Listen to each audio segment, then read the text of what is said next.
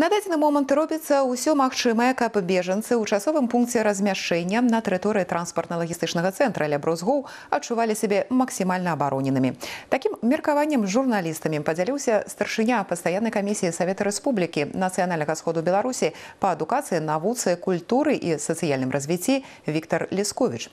Як падкрэслена, бытавыя патрэбы ўсіх мігрантаў максімальна задавальняюцца. На асаблівым кантролі адпаведных інстанцый застаюцца аспекты бяспечнага знаходжання людей у ТЛЦ. Продолжается постоянный круглосуточный мониторинг службами МЧС э, безопасности пребывания в логистическом центре.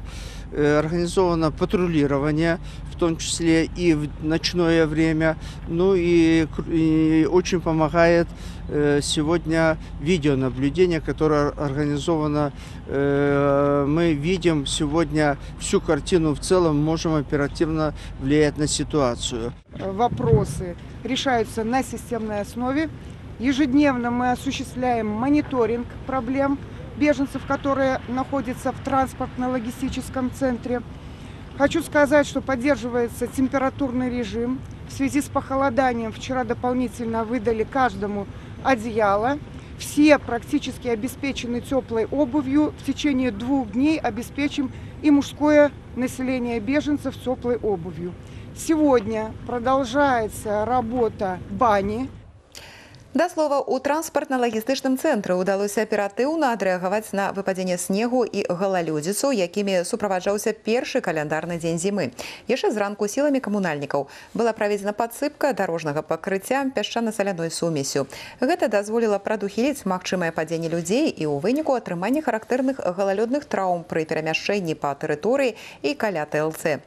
Сур'ёзных ці надзвычайных скаргаў на здароўе, у тым ліку па прычыне перахаладжэння засу сутки от беженцев таксама не поступало. Работает медицинский пункт. Две машины скорой помощи. За сутки обратилась э, за медицинской помощью и дана консультация 114 человека. Из них один ребенок доставлен в больницу.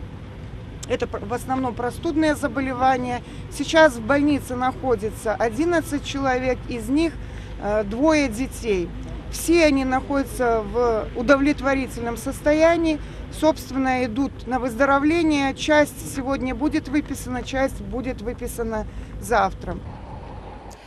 Немалаважна, што ў лагеры захоўваецца парадак, праводзіцца своечасовая ўборка тэрыторыі, свае функцыі паспяхова выконвае санітарная зона. А тэмпературны рэжым унутры лагістычнага цэнтра нават пры істотным пахаладанні звонку будзе падтрымлівацца на ўзроўні плюс 16 градусаў і вышэй, што забяспечыць камфортнае знаходжанне людзей. Як падкрэсліваецца, усе бытавыя пытанні вырашаюцца сістэмна, адпаведна, як падсумоўваюць спецыялісты, на дадзены момант робіцца ўсё магчымае, каб бежанцы ў часовым пункце размяшчэння ля мяжы адчувалі сябе максімальна абароненымі.